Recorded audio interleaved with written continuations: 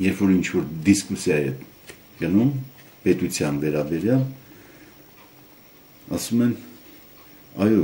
պետք է հարկեր վճարվեն պետությանը, թե ինչպես կարող է այս պետությունը գոյատևել։ Առանց հասկանալու, որ պետությունը ինքը պետք է ստեղծի իր համար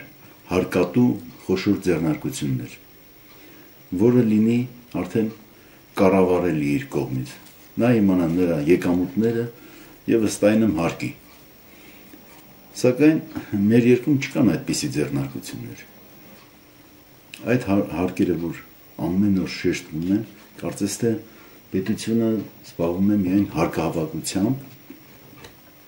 եւ ումից է այդ հարկերը հավաքում ինչպես ինչ գրեհիկ ձևերով դա բոլորս տեղյակ ենք պետությունը եթե մեկ ուզում է մի գործ դնել հենց առաջի օրվանից արդեն նրան վերցնում է նշանակետի տակ եւ միայն թղթաբանությունից արդեն սկսում է դրամներ շորթել եւ այդպես շարունակ մինչեւ վերջ այսինքն այդ հարկ վճարելը դա արդեն ինչ որ մի կամավոր բան չի, դա արդեն բռնագրավման մի բան է։ Նույնպես դրամաշուրթություն է։ Մեր նման թեր զարգացած երկրում թեր զարգացած, այսինքն ոչ թերի երկրում ավելի շուտ, թեր զարգացած երկիր չկա, թերի երկրում կարող է լինել ավելի ճիշտ մի ձև, որը իմ կարծիքով հետևյալն է նվիրատվության նման, ինչ որ հաշիվ լինի, անգամ անանում, անանում հաշվիր, յուրաքանչյուր քաղաքացի ըստ իր ցանկության ամսեկան կան երկու երբ ցանկանա ինչ որ մի գումար փոխանցի այդ հաշվին ինչպես եկեղեցիներում դրամարկղ է դրված եւ դու եթե ցանկություն ունես քո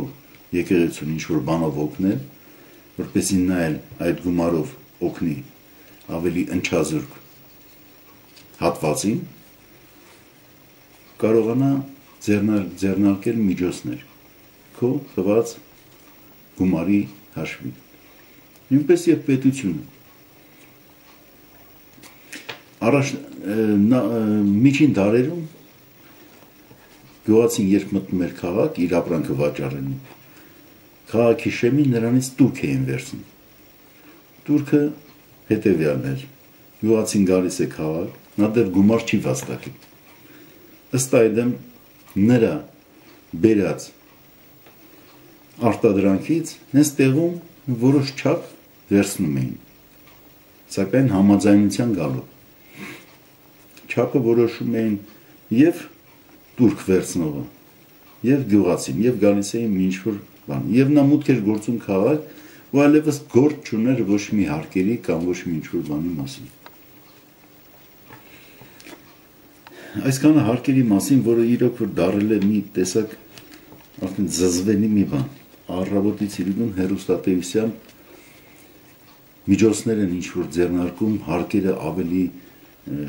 հեշտ ձևով վերցնելու, հետո ինչ որ կամավորության սկզբունքով, հետո չգիտեմ ինչ ձևերով Եթե դու չես կարողանում տնտեսություն ստեղծել քո համար, պետությունը իր համար որ ասի, դες ես ինչ շնորհք ունեմ, աշխատելու ինչ երանգ ունեմ, որպեսզի ժողովուրդը օրինակ վերցնի պետության տնտեսագետներից, պետության ինչ որ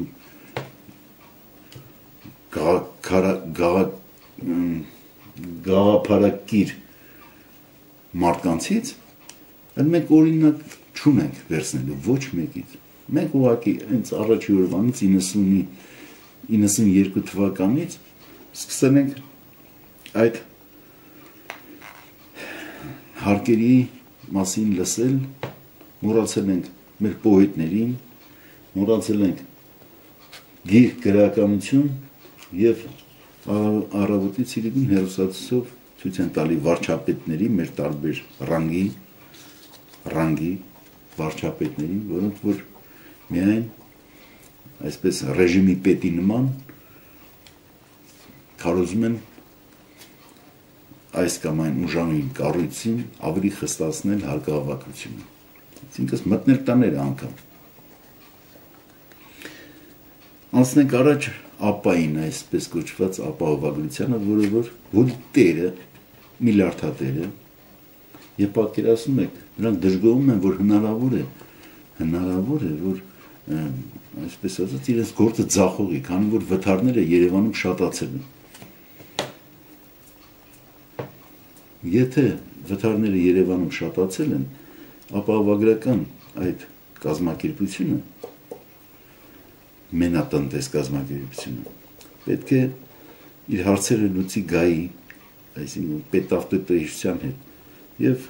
մատնացույց անի այն թերությունները, որի պատճառով վթարներ են լինում։ Ոչ թե գան տեսնեն վթարը, հաշվի չառնեն ինչն է պատճառը, ինչը չի պատճառը, գումարը տան կամ չտան։ Կամ ամեն ինչ արդեն վարորդների վրա։ Այդ դու անզգուշ ես դու հետևից ես խփել կամ քեզ 4 մեքենան է խփել խարի իրավիճակներ, ել չասեն, որ ամբողջ փողոցի երթևեկությունը խափանվում է։ Սա ապայի մասին ես ուղղակի սա խափեությունը ուղղակի կարելի կարճ ու կոնկրետ ասել, որ սա սա նույնպես դրամա, այսինքն մեր երկիրը դրամաշորտության վրա է հիմնված Իսկ ինչ վերաբերում է պետ պետ ավտոտեսությանը,